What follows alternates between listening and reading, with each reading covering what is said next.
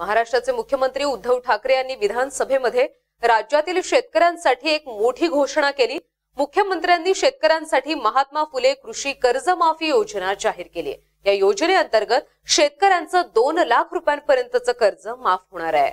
सरकार स्थापन झाल्यानंतर शेतकऱ्यांना दिलासा देणारा निर्णय लवकरच घेऊ असं महाविकास आघाडीकडून सातत्यानं सांगितलं जात होतं.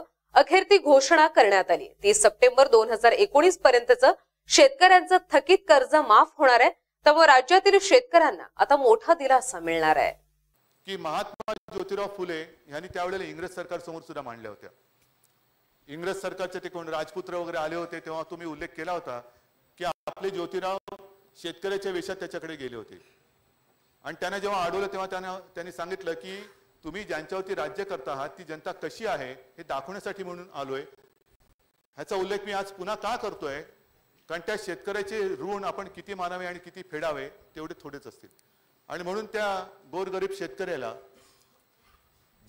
एकोणीस पर्यंत थकीत आहे ते सर्व थकीत कर्ज दोन लाखापर्यंत हे सरकार त्या कर्जातून त्याला मुक्ती देत आहे.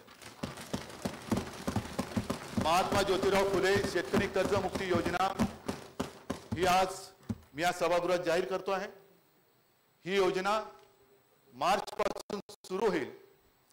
मधले दोन महिने जे आहेत ते दोन महिने यंत्रणेला थोडेसे तयारीला आम्हाला पाहिजेत. पण ही संपूर्ण योजना ही पारदर्शक असेल. ह्यातला पैसा हा शेतकऱ्याच्या कर्ज खात्यामध्ये थेट त्याच्या खात्यात येणार नाही. आणि जास्तीत जास्त शेतकऱ्यांना कर्जमुक्त करण्याचा आमचा मनोदय आहे.